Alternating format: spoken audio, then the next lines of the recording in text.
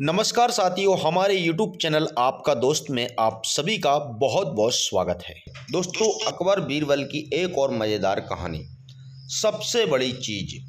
तो दोस्तों आप इस वीडियो में मेरे साथ लास्ट तक बने रहिए।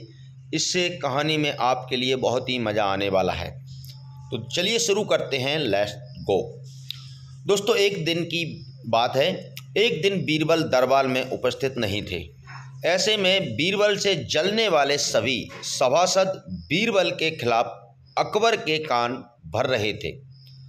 अक्सर ऐसा ही होता था, जब भी बीरबल दरबार दरबार में उपस्थित नहीं होते थे, तभी दरबारियों को मौका मिल जाता था। आज भी ऐसा ही मौका था। बादशाह के साले मुल्ला दो प्याजा की सह पाए कुछ सभासदों ने कहा जहाँ पनाहें आप वास्तव में बीरबल को आवश्यकता से अधिक मान देते हैं। हम लोगों से ज़्यादा उन्हें चाहते हैं। आपने उन्हें बहुत सिर चढ़ा रखा है, जबकि जो काम वे करते हैं, हम भी कर सकते हैं, मगर आप हमें मौका नहीं देते हैं। बादशाह को बीरबल की बुराई अच्छी नहीं लगती थी। अतः उन्होंने उन चारों की परीक्षा ली। देखो, आज बीरबल तो यहाँ है नहीं, और मुझे अपने एक सवाल का जवाब चाहिए। यदि तुम लोगों ने मेरे प्रश्न का सही सही जवाब नहीं दिया तो मैं तुम चारों को फांसी पर चढ़वा दूँगा। बादशाह की बात सुनकर वे चारों घबरा गए। उनमें से एक ने हिम्मत करके कहा, प्रश्न बताइए बादशाह, सलामत। संसार में सबसे बड़ी चीज़ क्या है? और अच्छी तरह सोच समझकर जवाब देना। वरना तुम लोगों को फांसी पर चढ़वा दूँगा।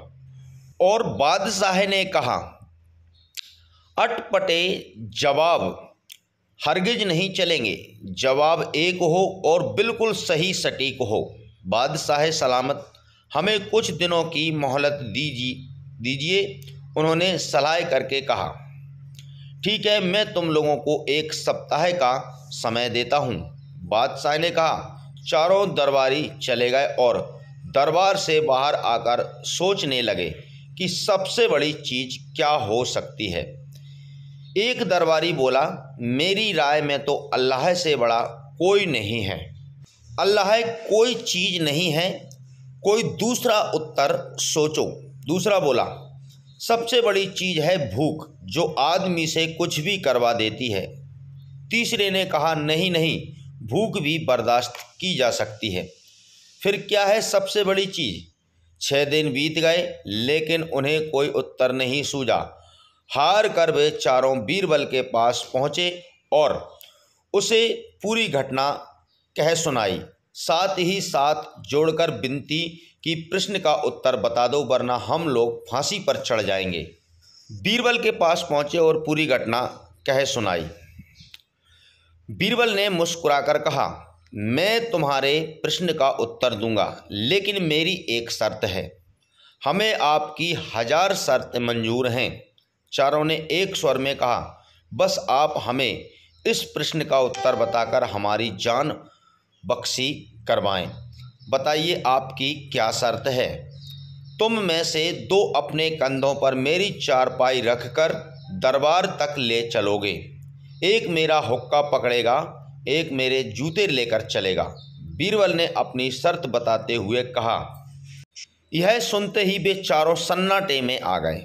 उन्हें लगा, मानो बीरबल ने उनके गाल पर कसकर तमाचा मार दिया हो। मगर वे कुछ बोले नहीं। अगर मौत का खौफ ना होता तो वो बीरबल को मुँह तोड़ जवाब देते। मगर इस समय मजबूर थे।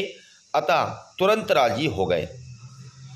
दोनों अपने कंधों पर बीरबल की चारपाई उठाई और तीसरे ने उनका हुक्का और चौथा जूता लेकर चल दिया। रास्ते में लोग आश्चर्य से उन्हें देख रहे थे। दरबार में बादशाह ने भी यह मंजर देखा और वह मौजूद दरबारियों ने भी कोई कुछ ना समझ सका। तभी बीरबल बोले, महाराज, दुनिया में सबसे बड़ी चीज़ है गरज। अपनी गरज से ये पाल की यहाँ तक उठाकर लाए हैं। बादशाह मुस्कुरा कर रह रह गए। बेचारों सिर झुकाकर एक ओर खड़े हो गए।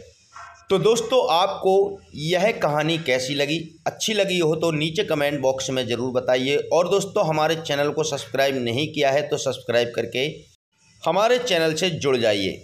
वीडियो देखने के लिए आप सभी का बहुत बहुत धन्यवाद।